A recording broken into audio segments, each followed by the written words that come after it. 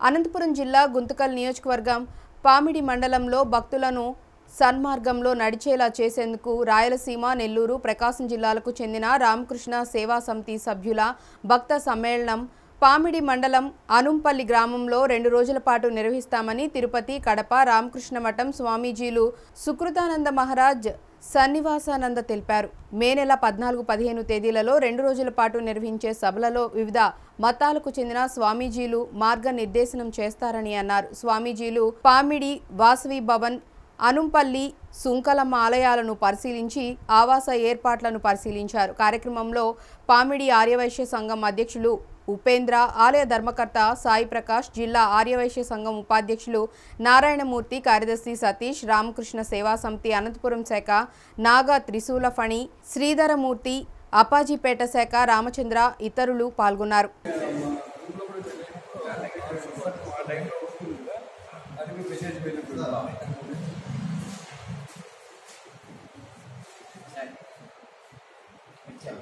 చిరునామా ఇస్మాయిల్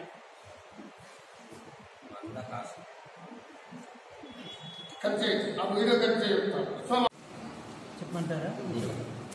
జననీం శారదాం దేవీం రామకృష్ణం జగద్గురుం పాదపద్మే తయో ప్రణమామి ముహుర్ముహు. పామిడి మనకి రామకృష్ణ మఠం రామకృష్ణ వివేకానంద భావ ప్రచార పరిషత్ రాయలసీమ.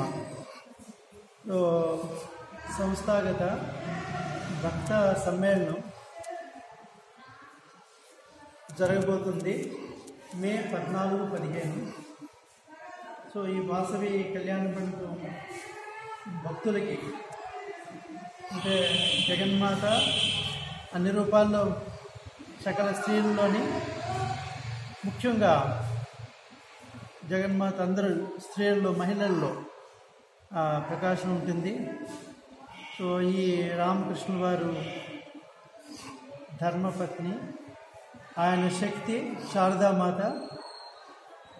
రామకృష్ణ వారు శారదామాత. స్వామి వివేకానంద ఆధునిక కాలంలో యావత్ ప్రపంచానికి మన సనాతన ధర్మం తెలియజేయడానికి వచ్చారు అవతరించారు.